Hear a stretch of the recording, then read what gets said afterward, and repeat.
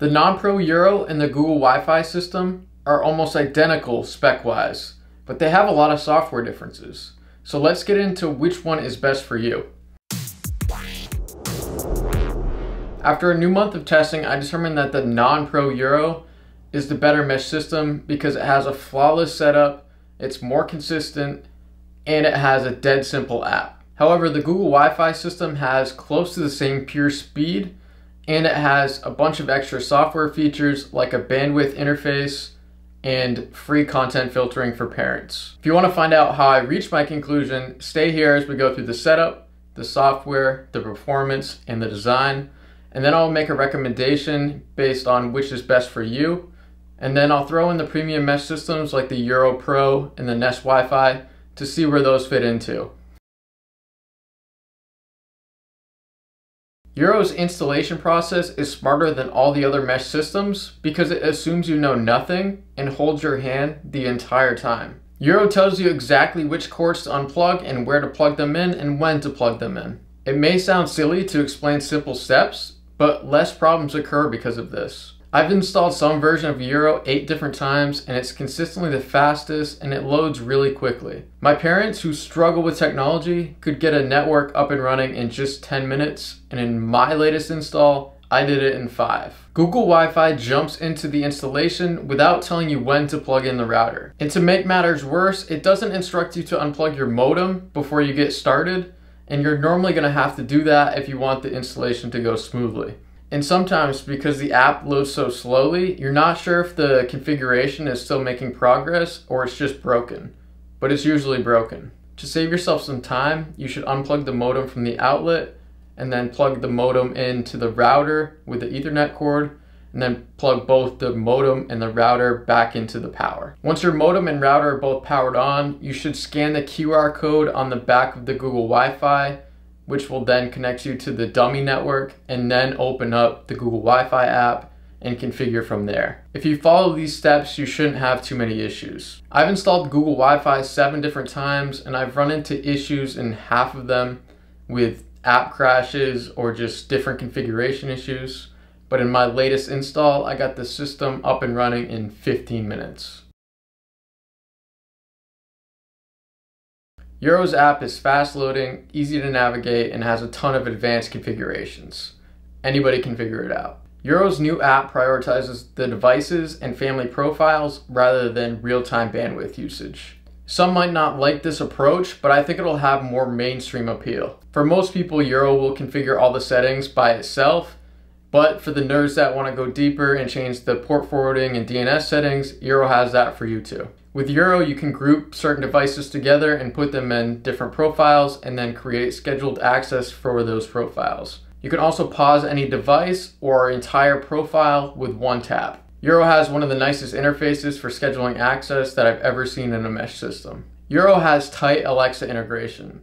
You can find where your phone is based on which node that it's closest to, or just pause the entire internet during dinner time. Eero is also one of the few systems to support Apple's HomeKit. When you add your Eero device to the Apple Home app, it creates a firewall between your network and your smart devices. What this means is that if one of your smart devices becomes compromised, it won't take down your entire network, just that one device. Let's get into a few annoyances that come with Eero software. You can still see the real-time bandwidth, but you'll have to go through and manually tap each device to see which one is using your resources.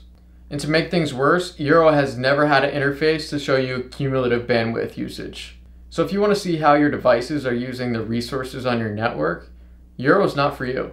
Another downside to Eero is that you can't give household members admin access. If you want admin access on two different phones, you'll have to share an account. And the final downside is Eero's optional subscription service, Eero Secure. For $3 a month, you get better security, ad blocking, and content filtering, which is great, but the problem is that a lot of these features are free on Google Wi-Fi. The Google Wi-Fi app is intuitive and it has a great layout. Google Wi-Fi has a feature called Family Wi-Fi, which is very similar to Eero's family profiles. You'll get all the same scheduling features, it's just not quite as smooth as Eero. And just like Eero, you can tap on a device to see which node that is connected to. You'll also get all the same advanced configuration options and guest network setup as you do with Eero. So now let's talk about four main Google Wi-Fi features that differ from Eero. With Google's family Wi-Fi, they have a feature called Safe Search Filtering, which will block millions of adult sites from the profiles that you choose. Eero has this feature too, but it's going to cost you $3 a month to get it. You can see real-time stats for each device on your network. It makes troubleshooting your network a lot easier because you can easily see which devices are using the most resources and then sometimes you might find something that is downloading in the background that you don't even know about. Google also has a great interface for cumulative bandwidth usage for your entire network. This could be essential if you have a cap on your bandwidth usage from your internet service provider. And the fourth feature is anyone with a Google account can be added and given admin access. There are a few downsides to Google Wi-Fi software. It requires a Google account, which I'm sure most of you have, but some don't like this. It doesn't always play nice with VPNs or Wi-Fi calling, and there are a lot of threads about this on Reddit.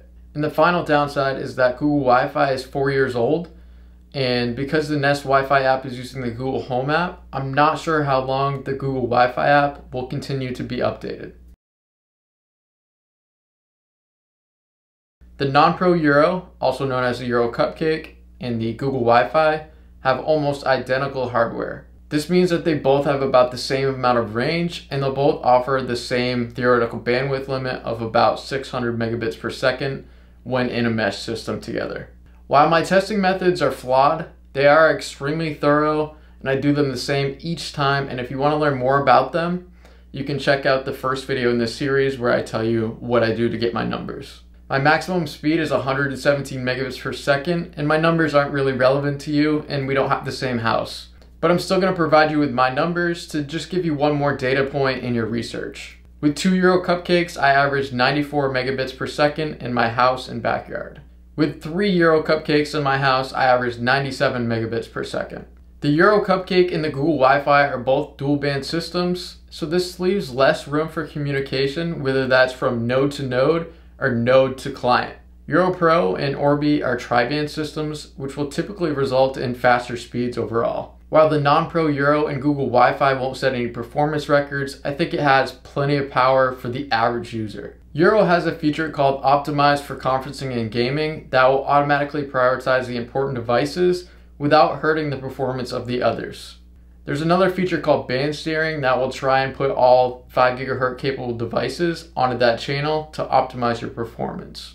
Compared to Google Wi-Fi, Eero typically brings more consistent speeds and it thrives with overall stability. The network never cuts out when your device moves from one node to the other, and you won't notice when this switch happens like you do with other mesh systems. In my testing, I averaged 87 megabits per second with two Google Wi-Fi routers. With three Google Wi-Fi routers, I averaged 97 megabits per second, which is the exact same that I got with the three-piece Eero system. I'm not sure why my numbers differed with the two-piece sets, but I would chalk this up to more of a fluke than anything inclusive. Google and Eero perform close to the same, but they have different methods of getting there. During my test, Google offered up a higher potential for speed, but there was way more variance in those tests, so the numbers averaged out to be about the same as Eero's. With Google, I was getting close to that 117 max number often, but there were other spots where I could only get 50 megabits per second. When with the Eero, I was almost at 100 almost everywhere I went. It was just more consistent with Eero. And outside of my fixed testing that I do, during random check-ins, Google Wi-Fi was almost always slower than Eero. I can't nail down a specific reason for this, but I saw the same thing when I tested Nest Wi-Fi, just to a lesser extent with Google Wi-Fi.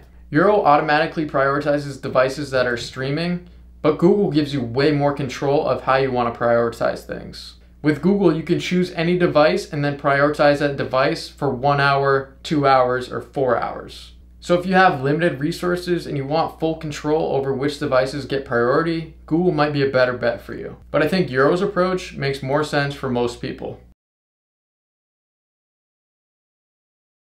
Eero comes in a glossy white finish and it's shaped like a cupcake.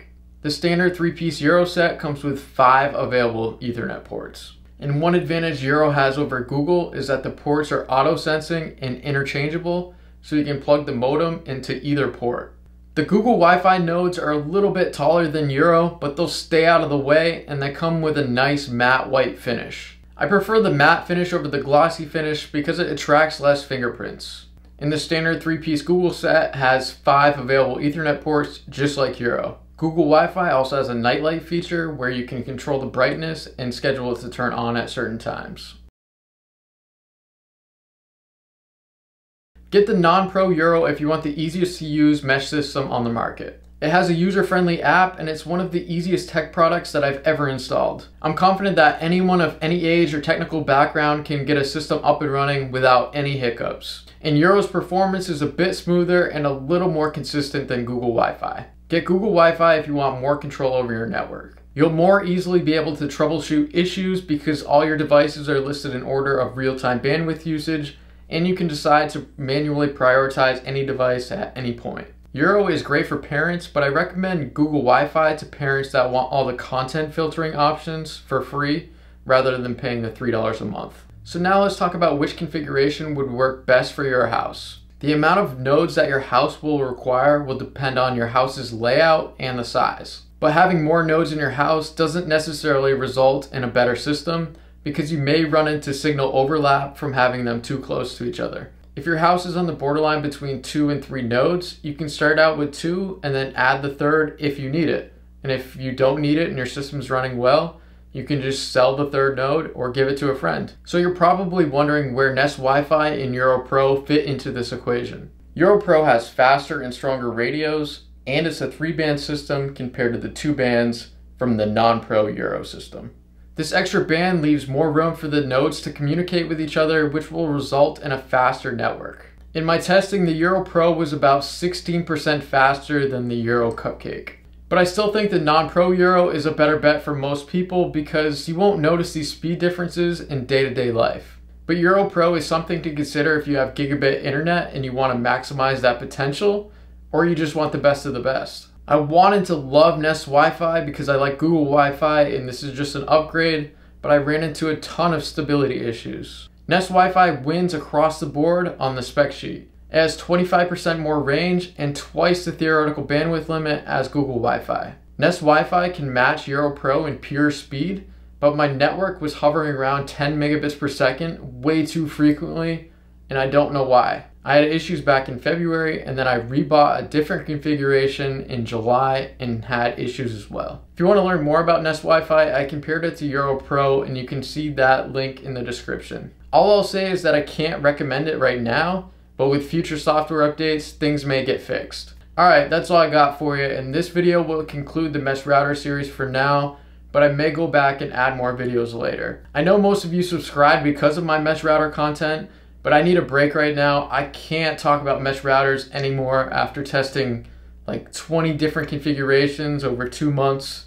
It's too much. And I still want more feedback from you guys and things that you want me to review and compare next because this channel won't continue to grow without real honest feedback. So thanks for watching and I'm out.